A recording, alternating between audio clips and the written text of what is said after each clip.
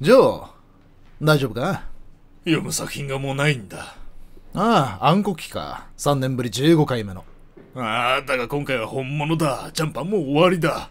ヒロアカが終わり、ジェルスが終わる。暗黒期だ。うん。ああ、鬼滅とネバラン、配給、チェーンソーマンが終わった時も同じこと言ってた。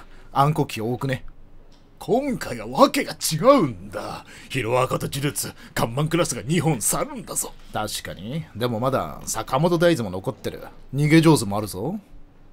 いいか？俺はジャンプ漫画を40年読んでるが、漫画ってのは生き物なんだ。成長するには時間がかかる。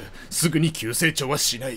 坂本デイズも茜話も青の墓もまだ発展途上だ。なのに急に看板のように扱ってみろ。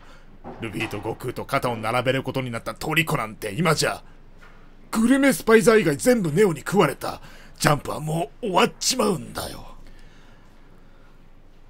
ナルトとブリーチが終わってからだぞ。鬼滅や配給、ヒロアカが輝き出したのは。配給やヒロカはそもそも自力があったろう。四つ目先輩や大釜時動物園がそもそもおもろかったからな。見てみろ、今の連載作品を。アストロは得意のヤンキー作風を。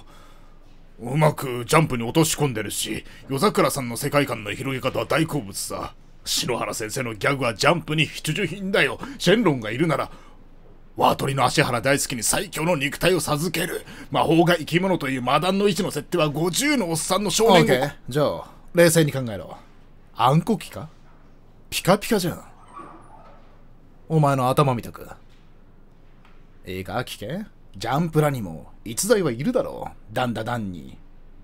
マッド普通の軽音部、神楽鉢は化ける。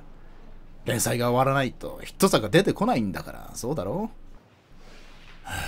う そうだな。名作は名作が終わらないと始まらない。大丈夫だ。落ち着いた。ありがとう。チェンソーマン2の朝の手こきシーンで冷ちょっ静になった。と待て、それはいい。余計に混乱する。ドラゴンボールもスラダンも終わらせたジャンプに暗黒期なんてない？いいかあの大御所も残ってるだろあう。よし。じゃ、再開に向けておさらいをしよあ、はいよ。老眼鏡う。だ。ああ、ハンターハンター、こりゃもう漫画じゃなくて、挿絵付きの小説だな、こりゃ。間違いないな。